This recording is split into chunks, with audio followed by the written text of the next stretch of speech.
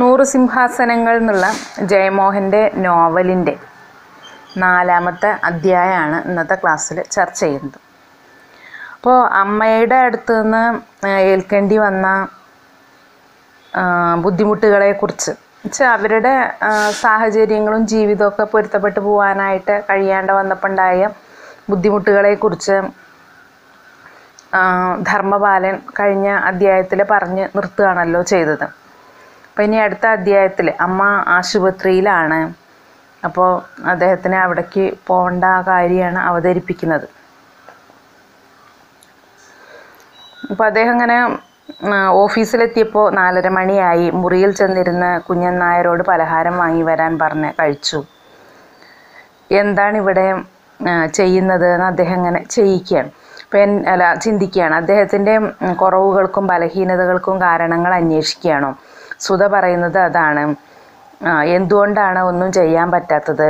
നീ പറയുന്ന കാരണങ്ങൾ മുഴുവൻ നിന്റെ അപർഷതാബോധം കൊണ്ട് ഉണ്ടാക്കുന്ന ഭാവനകൾ മാത്രമാണ് നീ എന്താണ് ചെയ്യേണ്ടത് എന്ന് നിനക്കറിയാം. നീ അത് ഒരിക്കലും ചെയ് ചെയ്യുന്നില്ല എന്ന് സുധ ഇടയ്ക്കിടയ്ക്ക് ഇങ്ങനെ ഓർമ്മിപ്പിക്കാറുണ്ട്. അപ്പം അത് തന്നെയാണോ ശരി? എന്റെ കുറ്റം കൊണ്ടാണോ എനിക്ക് ഇങ്ങനെ ജീവിക്കേണ്ടി വരുന്നത്? ധർമ്മപാലൻ ഇങ്ങനെ ചിന്തിക്കുകയാണ് അപ്പോൾ ചെയ്യേണ്ടത് എന്നാൽ ഒന്നു മാത്രം. ഞാൻ എന്നെ പോലെയുള്ളവരുടെ ശബ്ദമായും കയ്യായും ഈ ഗവൺമെന്റിനുള്ളിൽ പ്രവർത്തിക്കണം. എന്നെ പോലെയുള്ളവർ എന്നാൽ തോട്ടികൾ വാരിയെടുത്ത് ഷെഡുകളിൽ കൊണ്ടുചെന്നിടുന്ന മനുഷ്യച്ചവറുകൾ തന്നെ. പൊതു ആരോഗ്യത്തിനായി കോടികൾ ഒഴുക്കുന്ന ഒരു സർക്കാർ അവർക്കായി ഏതാനും ആയിരങ്ങൾ ചെലവഴിച്ചാൽ എന്ത്? കഴിയില്ലെങ്കിൽ അത് പറയുക അത് എഴുതി വയ്ക്കുക. അപ്പോൾ ധർമ്മപാലൻ ഇങ്ങനെ ചിന്തിക്കുകയാണ്. അപ്പോൾ സുധ ഇങ്ങനെ പറയാറുണ്ടല്ലോ അപ്പോൾ അത് തന്നെയല്ലേ ശരി ഞാനിങ്ങനെ എന്റെ എന്നെ പോലെയുള്ള ആളുകൾക്ക് വേണ്ടി എന്തെങ്കിലുമൊക്കെ ചെയ്യേണ്ടേ? അപ്പം മാത്രമല്ലേ എന്റെ ഈ അധികാരത്തിന് ഒരു കാര്യം ഉണ്ടാവുള്ളൂ എന്നൊക്കെ അദ്ദേഹം ഇങ്ങനെ ചിന്തിക്കുകയാണ്. അപ്പോഴാണ് ആശുപത്രിയെക്കുറിച്ച് ചിന്തിച്ചത്. നമ്മൾ ആശുപത്രിയെ കണ്ടിട്ടുണ്ടായിരുന്നല്ലോ. ചവറുകൂനയിൽ നിന്നും കിട്ടുന്ന ആളുകളെ വെറുതെ അങ്ങോട്ട് കൊണ്ടുപോയിടുന്ന ഒരവസ്ഥയല്ലേ ഉണ്ടായിരുന്നത്. അപ്പോൾ അവർക്ക് വേണ്ടി എനിക്ക് എന്താണ് ചെയ്യാൻ കഴിയുക? ഞാനല്ലേ അവർക്ക് വേണ്ടി എന്തെങ്കിലുമൊക്കെ ചെയ്യേണ്ടത് എന്നൊക്കെ ധർമ്മപാലൻ ഇങ്ങനെ ഓർക്കുകയാണ് അങ്ങനെ അദ്ദേഹം എഴുതി തുടങ്ങുകയാണ്. ഗവൺമെന്റിലേക്ക് ഒരു പരാതിയായിട്ട് എഴുതി തുടങ്ങുകയാണ്. കൈകൾ വിറച്ചു. അരുതാത്തത് എന്തോ ചെയ്യുന്നത് പോലെ ചെറിയ ശബ്ദങ്ങൾ കേട്ടപ്പോഴൊക്കെ അദ്ദേഹം ഞെട്ടി. എന്നിട്ട് റിപ്പോർട്ട് പൂർണമാക്കിയപ്പോൾ രാത്രിയായി കഴിഞ്ഞു. കഴുതച്ചന്ത ഷെഡുകളിൽ അദ്ദേഹം കണ്ടത് മുഴുവനും അങ്ങനെ വിശദമായിട്ട് എഴുതി. ഉടൻ തന്നെ നടപടി വേണമെന്നും അഭ്യർത്ഥിച്ചു. അപ്പോൾ എന്തു നടപടിയാണ് എടുക്കുന്നത് എന്ന് മൂന്ന് ദിവസത്തിനകം എഴുതി അറിയിക്കണം എന്നും കൂടി അതിൽ എഴുതി ചേർത്തു. അപ്പോൾ ഇല്ലെങ്കിൽ സ്വന്തം അധികാരം ഉപയോഗിച്ച് ഡിസ്ട്രിക്ട് മെഡിക്കൽ ഓഫീസറുടെ മീതെ കടുത്ത നടപടി എടുക്കേണ്ടി വരും. ഡി എം ഒക്ക് കത്തിന്റെ പകർപ്പ് അയക്കണമെന്ന് ഉത്തരവിട്ടു. അങ്ങനെ ഒരു മാനസിക സംതൃപ്തി അദ്ദേഹത്തിന് അതിൽ കിട്ടുകയാണ്. ആശുപത്രിയുടെ സ്വച്ഛാവസ്ഥ മാറ്റാനായിട്ട് തനിക്ക് എന്തെങ്കിലും ചെയ്യാൻ കഴിയുമെങ്കിൽ അത് ചെയ്യണം എന്നുള്ള അദ്ദേഹത്തിന്റെ മനസ്സിലുള്ള ആഗ്രഹം. അപ്പോൾ അത് എന്തെങ്കിലും ചെയ്യാൻ പറ്റുമോ എന്നുള്ള ചിന്തയിലാണ് ഇങ്ങനത്തെ ഒരു കത്തൊക്കെ അയച്ചത്. അപ്പോൾ ഏതായാലും അങ്ങനെ കത്തയച്ചപ്പോൾ ഉണ്ടായിട്ടുള്ള ആ ഒരു മാനസിക സംതൃപ്തി. ആ മാനസിക സംതൃപ്തിയിൽ അദ്ദേഹം അങ്ങനെ ഒരു സിഗരറ്റ് എടുത്ത് വലിച്ചു എന്ന് പറയാം.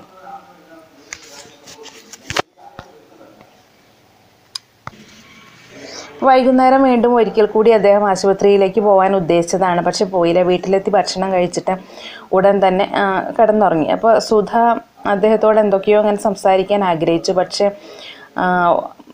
അദ്ദേഹത്തിന് ഒന്നും കേൾക്കാനുള്ള ഒരു സ്ഥിതിയായിരുന്നില്ല. അപ്പോൾ എന്നിട്ട് ഒരു മണിക്കൂർ അദ്ദേഹം അങ്ങനെ കിടന്ന് ഉറങ്ങി. അതിനുശേഷം ഉണർന്ന് സുധ ഉറക്കായിരുന്നു. എ സിയുടെ രാഗവും ക്ലോക്കിന്റെ താളവും മാത്രമാണ് കേൾക്കാനുണ്ടായിരുന്നുള്ളൂ. അപ്പോൾ പുറത്ത് ചെന്ന് ഒരു സിഗരറ്റ് കത്തിച്ചു. സിഗരറ്റ് കൂടിയത് കൊണ്ടാണ് ഉറക്കം ഇല്ലാതാവുന്നത് എന്നിങ്ങനെ ചിന്തിക്കുകയും ചെയ്തു. അപ്പോൾ നാളെ പുല പുലർന്നതും തന്നെ ഡി എം ഒയെ ഞാൻ വിളിച്ച് സംസാരിച്ചാലോ? വേണ്ട ഒരു ദിവസം ക്ഷമിക്കാം. പത്രക്കാരെയും കൂട്ടിക്കൊണ്ട് ഒരു ആശുപത്രി വിസിറ്റ് ചെയ്യാം. എല്ലാവരെയും ഒന്ന് സഹിക്കാം എന്നൊക്കെ അങ്ങനെ വിചാരിക്കുകയാണ്. ഇനി ആശുപത്രിയുടെ പ്രവർത്തനത്തിന് ഞാൻ എന്തൊക്കെയാണ് ചെയ്യേണ്ടത് എന്നിങ്ങനെ മനസ്സിൽ അദ്ദേഹം അങ്ങനെ ചിന്തിക്കുകയാണ്. അപ്പോൾ അവർ എന്തു പറയുമെന്ന് എനിക്ക് നന്നായിട്ട് അറിയാമെന്ന് അദ്ദേഹം സമയത്ത് വീണ്ടും ചിന്തിക്കുകയാണ്. അപ്പോൾ കഴിഞ്ഞ ഒന്നര കൊല്ലത്തിനിടയ്ക്ക് അദ്ദേഹം കാണാത്തവ കുറവാണ്. അന്തസ് അഭിമാനം തുടങ്ങിയ വാക്കുകളുടെ പൊരുൾ തന്നെ അദ്ദേഹത്തിന്റെ ജീവിതത്തിൽ ഇല്ലാതായി. അമ്മ അവയുടെ അവസാനത്തെ തടങ്ങളും മായിച്ചിട്ടാണ് പോയത് എന്ന് അദ്ദേഹം ചിന്തിക്കും. അപ്പോൾ അതിന്റെ കാരണങ്ങളാണ് പിന്നെ പറയുന്നത്. അതായത് മധുരയിൽ താമസിച്ചിരുന്ന അമ്മ ഒരു ദിവസം പ്രേമിനെയും കൊണ്ട് അപ്രത്യക്ഷയായി. സുധ ബോധം കെട്ട് വീണു. ഞാൻ എസ് പിയെ വിളിച്ചു പറഞ്ഞു. നഗരം മുഴുവൻ പോലീസ് പരക്കാൻ പാഞ്ഞു. ശരിക്കും മുക്കാൽ മണിക്കൂറിൽ അമ്മയെ അവർ പിടിച്ചു. അപ്പോൾ നഗരത്തിലെ പ്രധാനപ്പെട്ട ഒരു ഹോട്ടലിന്റെ പിന്നിലുള്ള എച്ചിൽ കൂനയിൽ മേയുകയായിരുന്നു അമ്മ. കയ്യിൽ കിട്ടിയ അഴുക്ക് മുഴുവൻ പ്രേമിന് കൊടുത്തു കഴിഞ്ഞിട്ടുണ്ടായിരുന്നു. അപ്പോൾ സുധ ഉണ്ടയേറ്റ മൃഗം പോലെ പാഞ്ഞു വന്ന് കുട്ടിയെ പിടിച്ചു വാങ്ങി. അവന്റെ വായിലും മാറിലും ഒക്കെ ചീഞ്ഞ ഭക്ഷണമായിരുന്നു അവനെ കെട്ടിപ്പിടിച്ച് ചുംബിച്ചുകൊണ്ട് അവൾ അവിടെ തന്നെ കിടന്നു പോയി എന്ന് അദ്ദേഹം പറയുകയാണ് അങ്ങനെ ഒന്നും അദ്ദേഹത്തിന് ഒന്നും ചെയ്യാനാവാതെ ഒറ്റ ചിന്ത പോലും ഇല്ലാണ്ട് അങ്ങനെ നിന്നു. എന്നിട്ട് ജീപ്പിൽ നിന്ന് ഇറങ്ങി ഏലേ കാപ്പ എന്ന് നിലവിളിച്ചു കൊണ്ടുവന്ന അമ്മയെ കണ്ടപ്പോൾ അദ്ദേഹത്തിന്റെ ഉള്ളിൽ നിന്ന് ആകെ എന്തൊക്കെയോ പൊന്തി വന്നു പറയാം. അപ്പോൾ താഴെ കിടന്ന ഒരു ഹോസ് പൈപ്പിന്റെ തുണ്ട് കയ്യിലെടുത്ത് അദ്ദേഹം ഇങ്ങനെ പറഞ്ഞു. ഓടടി ഓടടി നായേ ഇനി ഈ വീട്ടിൽ കാൽ കുത്തരുത്. ഓട എന്ന് പുലമ്പിക്കൊണ്ട് അമ്മയെ മാറി മാറിയിട്ട് അദ്ദേഹം അടിച്ചു. അമ്മ നിലത്ത് കിടന്ന് പൊളഞ്ഞ് നിലവിളിച്ചു. അപ്പോൾ ആ സമയത്ത് അവരെ ചവിട്ടി. അപ്പോൾ എസ് പി അപ്പോൾ അദ്ദേഹത്തെ തടഞ്ഞു. എന്നിട്ട് ആ സമയത്ത് അമ്മ എഴുന്നേറ്റ് ഓടി തെരുവിൽ നിന്നല്ലേ കാപ്പ നീ നാശമാ പോവേ. ചങ്കടച്ച് ചാവേ വെള്ളപ്പന്നി നിന്റെ രക്തം കുടിച്ച് നീ ചത്തുപോവേ എന്ന് ശാപട്ടുകൊണ്ട് മാറിലും വയറ്റിലും ഒക്കെ അടിച്ച കരഞ്ഞു. അരയിലെ വസ്ത്രം ഊരി എന്റെ മുമ്പിൽ എറി അദ്ദേഹത്തിന്റെ മുമ്പിൽ എറിഞ്ഞിട്ട് നഗ്നയായി നിന്ന് കൊഞ്ഞണം കാട്ടി വൃത്തികെട്ട പല ആംഗ്യങ്ങൾ കാട്ടി പുലഭ്യം പറഞ്ഞു. അങ്ങനെ അമ്മയെ അവസാനമായിട്ട് അങ്ങനെ ആട്ടി ഓടിച്ച ആ ഒരു രംഗം അദ്ദേഹം അങ്ങനെ ചിന്തിക്കുകയാണ്. കാരണം ഒരു രക്ഷയില്ലാതെ ആയപ്പോഴാണ് അങ്ങനെ ആട്ടി ഓടിക്കേണ്ടി വന്നത് എന്ന് അദ്ദേഹം ചിന്തിക്കുകയാണ്. അപ്പോൾ അമ്മ അപ്പോൾ ഇത്രയും ആയപ്പോഴേക്ക് എസ് പി അദ്ദേഹത്തോട് എഴുന്നേറ്റ് പോയിക്കോളാൻ പറഞ്ഞു. എന്നിട്ട് മുറിയിലേക്ക് പോയതും അദ്ദേഹം ആദ്യം വിചാരിച്ചത് ഫാനിൽ കുരുക്കിട്ട് തൂങ്ങിച്ചാവുന്നതിനെ പറ്റിയായിരുന്നു എന്ന് പറയണം. പലതരത്തിൽ പല സ്ഥലങ്ങളിൽ അദ്ദേഹം ആത്മഹത്യ ചെയ്തുകൊണ്ടേയിരുന്നു എന്ന് പറയണം. കാരണം അഭിമാനം അഭിമാനം എന്ന് പറഞ്ഞ ഒന്ന് ഇല്ലാതെയായി. ഇനി ജീവിച്ചിട്ട് കാര്യമില്ല എന്നുള്ള തോന്നൽ തന്നെ അദ്ദേഹത്തിന് വന്നു എന്ന് പറയണം. അതിന് മാത്രം മാനസികമായിട്ട് തളർന്നു കഴിഞ്ഞിട്ടുണ്ടായിരുന്നു അമ്മയുടെ ഈ സ്വഭാവം കാരണം. അങ്ങനെ അമ്മയെ പിടിച്ച് ജീപ്പിൽ കയറ്റി നഗരത്തിലെ പ്രധാന ക്രിസ്ത്യൻ ആശ്രമത്തിൽ കൊണ്ടാക്കി. അപ്പോൾ അവിടുന്ന് ഒരു വൃദ്ധസദനത്തിലേക്ക് കൊണ്ടുപോയി. വേണ്ട കാശൊക്കെ അദ്ദേഹം തന്നെ കൊടുത്തു. അമ്മയെ പിന്നെ കാണാനുള്ള ധൈര്യം അദ്ദേഹത്തിന് ഉണ്ടായില്ല കാരണം അദ്ദേഹത്തിന്റെ ഉള്ളിൽ ഓരോ സമയവും തീ ഇങ്ങനെ കത്തിയെരിയായിരുന്നു. അപ്പോൾ ചോമര മുഴുവനും അമ്ലമായിട്ട് മാറിയതുപോലെ എന്ന് പറയണം. ഉള്ളിലെ അവയവങ്ങൾ മുഴുവനും വെന്തുരുകയും വയറ്റിൽ അങ്ങനെ വീണ് കറങ്ങി. പിറ്റേ ദിവസം മുതൽ പ്രേമിനാണെങ്കിൽ വയറിളക്കവും ഛർദിയൊക്കെ തുടങ്ങി വേസ്റ്റൊക്കെ കൂടി കുട്ടിക്ക് കൊടുത്തതാണല്ലോ. അപ്പോൾ അതുകൊണ്ട് കടുത്ത പനി. പന്ത്രണ്ട് ദിവസം അവനങ്ങനെ ആശുപത്രിയിലായി. രണ്ടു തവണ ആപത്ഘട്ടത്തിൽ അയച്ച ജീവൻ തിരിച്ചു കിട്ടുമോ എന്ന് വരെ സംശയാവുന്ന ഘട്ടവും കൂടി പ്രേമിന്റെ ജീവിതത്തിൽ അങ്ങനെ ഉണ്ടായി എന്ന് അദ്ദേഹം പറയാണ്. അമ്മ ഇങ്ങനെ കൊണ്ടുപോയിട്ട് ആശു ഹോട്ടലിൽ ചീഞ്ഞളിഞ്ഞ ഭക്ഷണം അവന് കൊടുത്തതുകൊണ്ട്.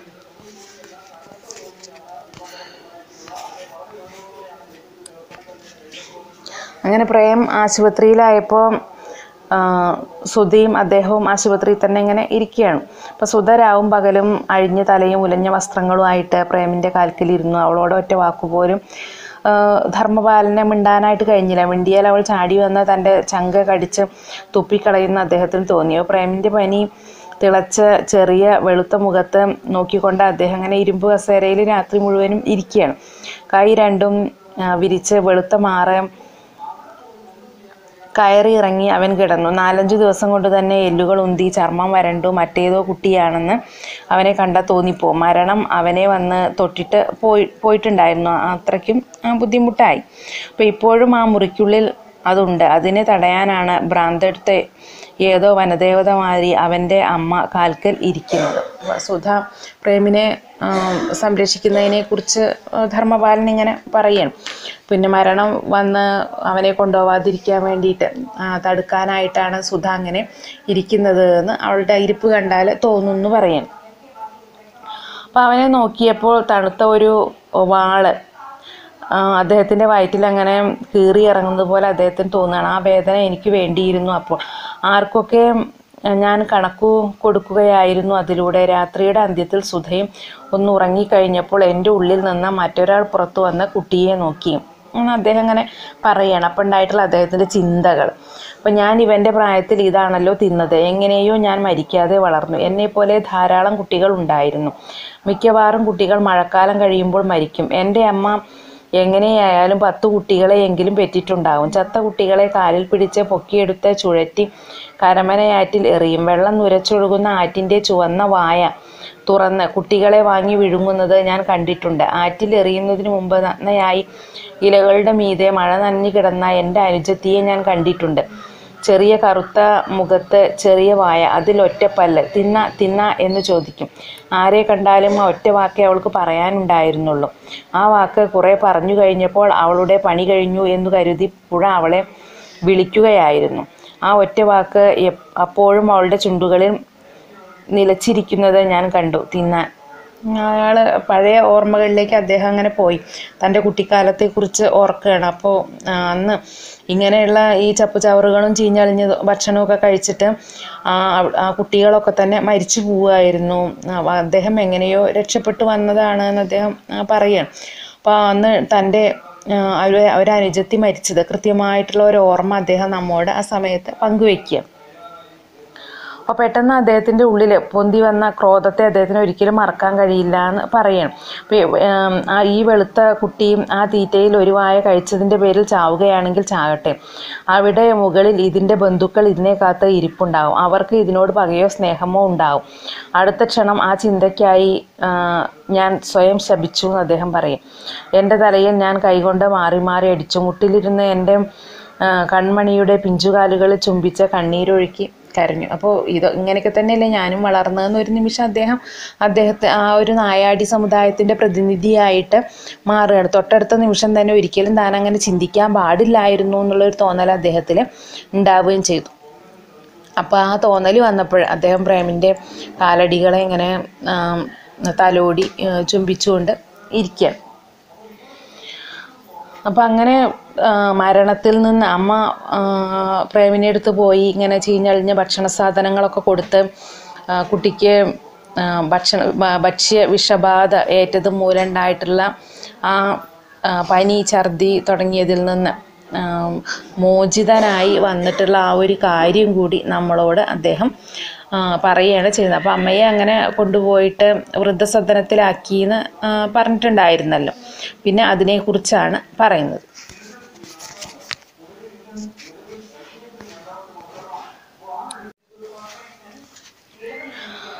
നൂറ് സിംഹാസനങ്ങൾ എന്നുള്ള ജയമോഹന്റെ നോവലിലെ നാലാം അധ്യായത്തിന്റെ അവസാന ഭാഗമാണ് പറയുന്നത്.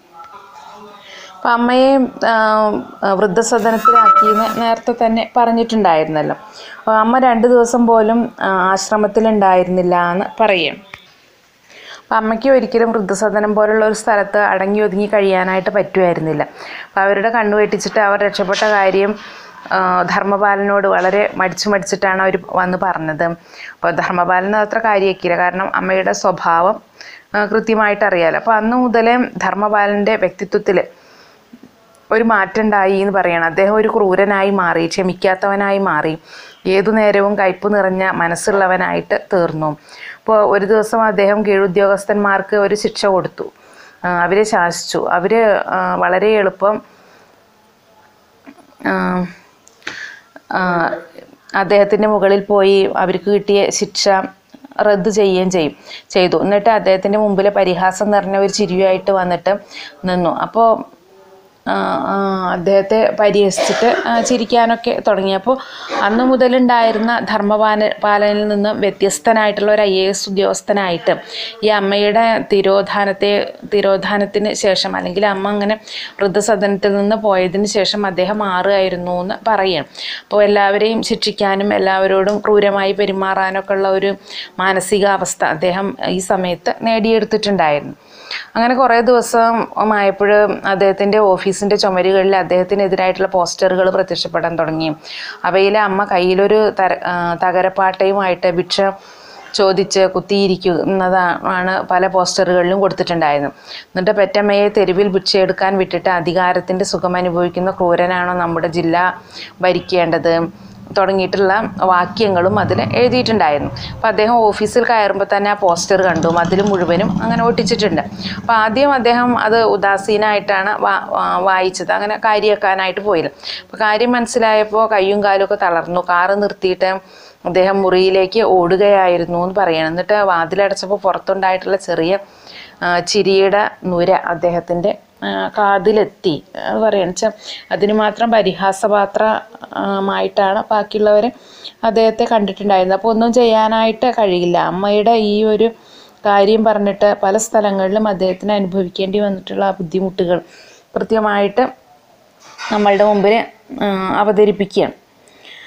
അപ്പോൾ പിന്നെ അദ്ദേഹം പണിയെടുത്ത സ്ഥലങ്ങളിൽ മുഴുവനും അമ്മയുടെ വാർത്തയും ഒപ്പം എത്തും. കാരണം അതിങ്ങനെ പറയല്ലോ പുതിയ കലക്ടർ വരുമ്പോൾ എവിടുന്ന എന്താ ഏതാ അങ്ങനെ അന്വേഷിക്കുമല്ലോ. അപ്പോൾ അങ്ങനെ ഈ വാർത്തയും അപ്പം തന്നെ എത്തും. നാഗർകോവിലിലേക്ക് വന്നപ്പോൾ ആദ്യം കാണാൻ പോയത് സുന്ദരരാമസ്വാമിയെ സുന്ദര രാമസ്വാമിയെ ആയിരുന്നു എന്ന് പറയാം. രാമസ്വാമിയുടെ വീടിന്റെ മുന്നിലും ഉണ്ടായിരുന്നു ഒരു പോസ്റ്റർ. രാമസ്വാമി അതിനെക്കുറിച്ച് ഒന്നും തന്നെ അദ്ദേഹത്തോട് ചോദിച്ചില്ല. എന്തും മാർക്കും തുറന്നു പറയാവുന്നയാളാണ് രാമസ്വാമി എന്ന് പിന്നെയാണ് ധർമ്മപാലൻ അറിഞ്ഞത് എന്ന് പറയണം അപ്പോൾ മറ്റൊരു അവസരത്തിൽ അത് പറഞ്ഞപ്പോൾ രാമസ്വാമി നിർവികാരനായിട്ട് ഇങ്ങനെ കേട്ടിരുന്നു. എന്നിട്ട് അപ്പോൾ ഒപ്പമുണ്ടായിരുന്ന അദ്ദേഹത്തിന്റെ ശിഷ്യൻ ആവേശത്തോടെ ഇങ്ങനെ സംസാരിച്ചു തുടങ്ങി. എന്നിട്ട് എല്ലാം അടിച്ചു തകർക്കുന്നതിനെ പറ്റി സമൂലമായിട്ടുള്ള മാറ്റത്തെപ്പറ്റി രാമസ്വാമി ഒടുവിൽ ഏതാനും വാക്കുകൾ ഇങ്ങനെ പറഞ്ഞു. ചരിത്രം എന്ന യന്ത്രത്തിൽ ബന്ധിക്കപ്പെട്ടവരാണ് നമ്മളെല്ലാവരും. പ്രശ്നങ്ങൾ ഓരോരുത്തർക്കും ഓരോന്നാണ്. നമ്മുടെ മുമ്പിലുള്ള വെല്ലുവിളി ചരിത്രത്തിന്റെയും നിയമങ്ങളും നിയമഭേദങ്ങളും നമ്മെ നയിക്കാതിരിക്കാൻ ശ്രദ്ധിക്കുക എന്നതാണ്. നമ്മുടെ ധർമ്മങ്ങൾ മാത്രമാണ് നമ്മെ നയിക്കേണ്ടത്. നാം ചരിത്രത്തിൽ ഒഴുകാൻ പാടില്ല. ചരിത്രം നമ്മിലൂടെ കടന്നു പോകട്ടെ പക്ഷേ നാം ചരിത്രത്തിന്റെ അടിമകളാവരുത്. അപ്പോൾ എപ്പോഴും ചരിത്രം ഇന്നതാണ് എന്ന് പറഞ്ഞിട്ട് നമ്മൾ അതിനിങ്ങനെ ഒതുങ്ങി നിന്ന് കൊടുക്കാതെ നമ്മൾ മാറ്റങ്ങൾ ഉണ്ടാക്കണം. അപ്പോൾ മാത്രമാണ് ചരിത്രം നമ്മളുടെ മേലേക്ക് ഒഴുകി വരുന്നത്. ചരിത്രത്തിന്റെ കൂടെ ഒഴുകി പോവാതെ ചരിത്രം നമ്മളുടെ മേലെ ഒഴുകി പോകുന്ന ഒരവസ്ഥയിലേക്ക് മാറ്റണം എന്നാണ് രാമസ്വാമി പറഞ്ഞത്. രാമസ്വാമിയെ നമ്മൾ നേരത്തെ പറഞ്ഞിട്ടുണ്ടായിരുന്നു. അമ്മയെ ആശുപത്രിയിലാക്കിയതിന്റെ പിറ്റേ ദിവസം രാമസ്വാമിയുടെ വീടിന്റെ മുമ്പിൽ കൂടെ പോയി. അപ്പോൾ അവിടെ കയറി കുറേ കാര്യങ്ങൾ പറയണം എന്ന് ആഗ്രഹം ഉണ്ടായിരുന്നു എന്നൊക്കെ നേരത്തെ പറഞ്ഞില്ലേ? പിന്നെ സാഹിത്യ ചർച്ചകളും ഒക്കെ നടത്തുന്ന ഒരു സ്ഥലമാണ് രാമസ്വാമിയുടെ വീട്. ആർക്കും എന്തും തുറന്നു പറയാം എന്നൊക്കെ പറഞ്ഞിട്ടുണ്ടായിരുന്നു. അപ്പോൾ ആ രാമസ്വാമിയെക്കുറിച്ചാണ് പറഞ്ഞത്. അപ്പോൾ സമൂഹത്തിൽ വരേണ്ട മാറ്റങ്ങളെക്കുറിച്ച് സമൂലമായിട്ടുള്ള ഇവിടുത്തെ ഇവിടെ ഉണ്ടാവേണ്ട മാറ്റങ്ങളെക്കുറിച്ചാണ് രാമസ്വാമി ശിഷ്യനും പറഞ്ഞത്. അപ്പോൾ മാറ്റങ്ങൾ നമ്മൾ തന്നെ ഉണ്ടാക്കണം. നമ്മൾ ചരിത്രത്തിന്റെ ഭാഗമായിട്ട് ഒഴുകി പോകാനായിട്ട് നോക്കരുത്. മാറ്റങ്ങൾ ഉണ്ടാക്കാനായിട്ട് ശ്രമിക്കണം എന്നുള്ള ഒരു കാര്യം ഒരു തത്വം. അത് ധർമ്മപാലനെ ഓർമ്മിപ്പിക്കും കൂടിയാണ് രാമസ്വാമി ചെയ്തത്.